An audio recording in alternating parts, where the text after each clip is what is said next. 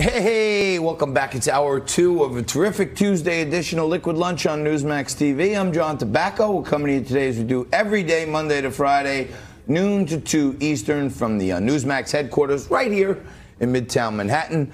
Uh, before uh, kicking off this hour two with the powerhouse of a leadoff guest, that's uh, Lieutenant Colonel Daniel Davis. He's a uh, senior fellow at Defense Priorities. He's a uh, served 21 years with our uh, U.S. Army, leading uh, fighting forces into uh, four combat deployments, including two in Afghanistan. Uh, Colonel Davis, uh, thank you again for joining us today on Liquid Lunch. Always glad to be here. Thanks for having me. It's it's it's a pleasure to have you, and as always, thank you for all of your great commitment to our country and fighting for freedom and liberty.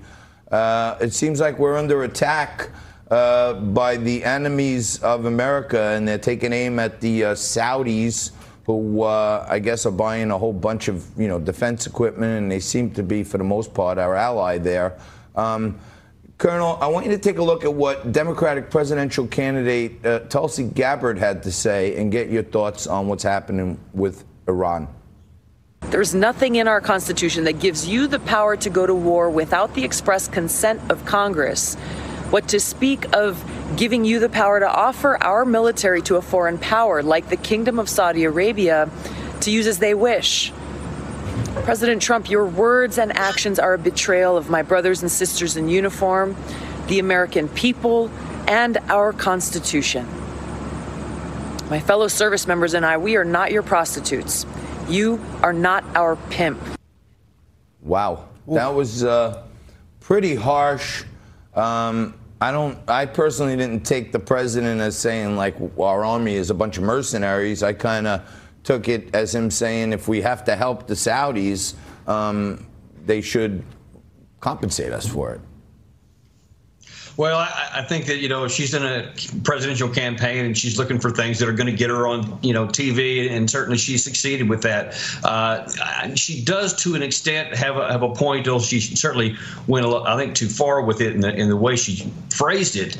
But the fact is, this was at the core an issue between Saudi Arabia and Iran. I mean, this actually goes back centuries with the Sunni Shia split, and, and certainly an extension of the proxy war going on between those two in Yemen. And this is the predictable result of Saudi Arabia being unwilling to resolve this war and going on for now four plus years. And the bottom line is our armed forces exist to defend our country and our interests, and our interests have not been put at risk, and our interests, we were not attacked.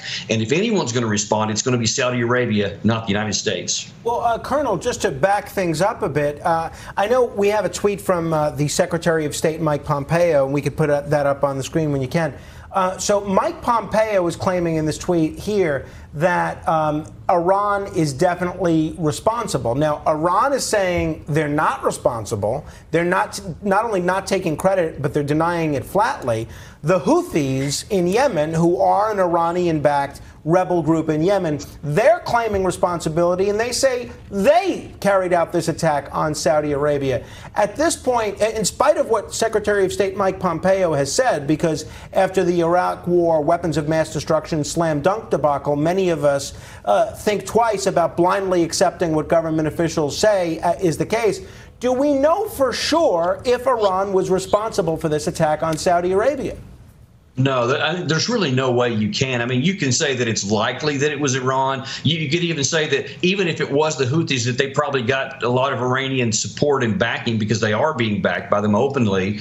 But I mean, even the, the French foreign minister that earlier today said they don't have any evidence to show conclusively who it was you have to do a lot of uh, forensic analysis on the ground that takes a long time to be able to prove that. So I would be in the camp that let's wait and see what the evidence shows. But really, no matter what the evidence ends up showing, this is still not an issue for the American military to get involved with. Well, look, I, I certainly agree with you, and I am uh, no fan of the Kingdom of Saudi Arabia. Not only they are a dictatorship, but they're a theocracy uh, where there are no human rights. They still execute people for sorcery, and you can understand why some of the Houthis are somewhat upset that thousands of Yemeni civilians have been blown up by the Saudis with bombs that say made in the USA on them.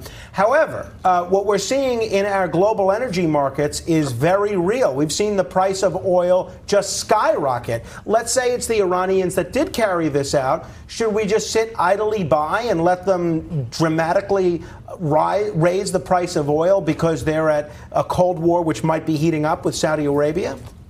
Well, see, this this goes back to the consequence of continuing to carry on this war. You keep fighting something that can't be won because this military, this fight can't be won militarily. These are the kinds of consequences. If anything, we should be eh, putting pressure on both of them to the extent that we can to resolve this matter and get the war uh, resolved and off the table. Because no matter what anybody would like to have happen, certainly we would prefer that the temperature go down and the risk of war be eliminated.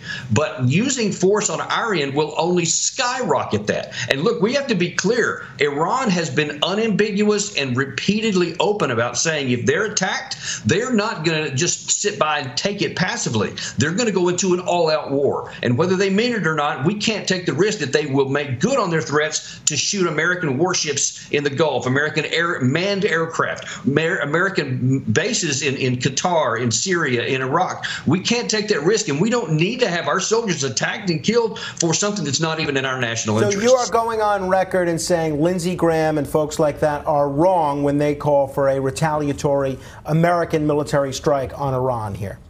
I am unequivocally opposed to that without any question. It's not our, our interest. Our armed forces exist to defend us when we're attacked or an imminent attack against us. It's not to be used for the Saudi Arabia, almost like a Saudi defense force. And we're not that. And this is Saudi's making. Saudi Arabia has to fix it. Yeah, uh, Colonel, uh, when, when the, the economic interests of the U.S. are attacked because oil is flying up, I saw uh, General McCaffrey uh, on one of the other networks last night saying that without committing fighting troops, uh, there are many things we can do militarily to to Iran, um, like attack, uh, like uh, drone strikes on their um, oil refineries and and and some of, of their key military installments. Uh, is some kind of strike like that? Just to just to keep the Iranians in line. Is is is that even make any sense to you? No, it doesn't because er, it's not going to keep Iran in line. If anything, it's going to cause them to be more provocative and take more actions, which would certainly make the price of oil go up even higher. So that's not going to solve anything. And this really highlights the limits of military power. And there's too many in the United States, Senator Graham being one of them, that likes to go to military force not as a last resort, but as a policy option of first choice. And it just has limitations. We need to put a lot more emphasis on diplomacy and lowering the temperature of potential conflict, not just using it right off the bat. And uh, my final question, Colonel, is let me ask you about our other problem child, Afghanistan. Uh, we saw, unfortunately, the death of another American serviceman, I believe a Green Beret, uh, passing away or murdered in Afghanistan. This is the 17th American killed in Afghanistan this year. That's more than we've seen in any year since 2014. What are we still doing in Afghanistan? The president doesn't want to be there. It doesn't seem like the Afghan government wants us there terribly much, and the Taliban doesn't want us there.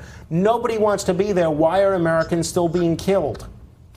Well, th- this is one of the big problems, which why I was so disappointed at how the last you know negotiations ended, where we said since we couldn't make a deal with the Taliban that all the discussions were off. But as I'm strongly advocating, we don't need to deal with the Taliban. We need to just say for the benefit of our country and for the soldiers that are still there, we don't need to lose another soldier on a fight that doesn't even affect our national security.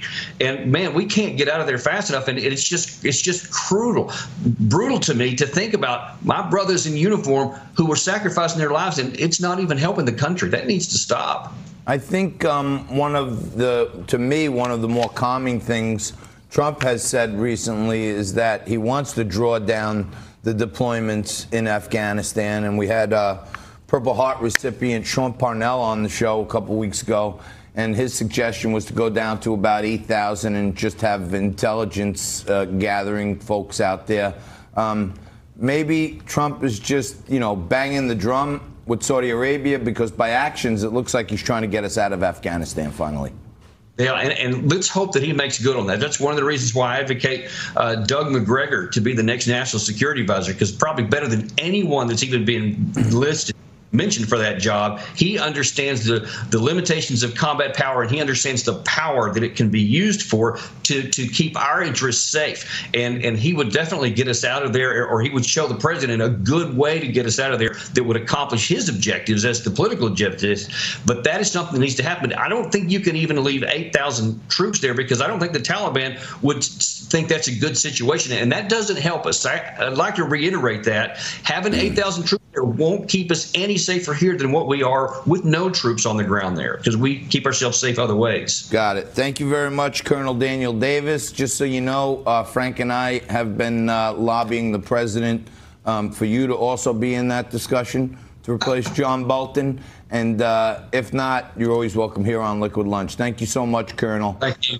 Appreciate and it. uh, thank you for watching Liquid Lunch. Don't go anywhere. We'll take a quick break and be back after this.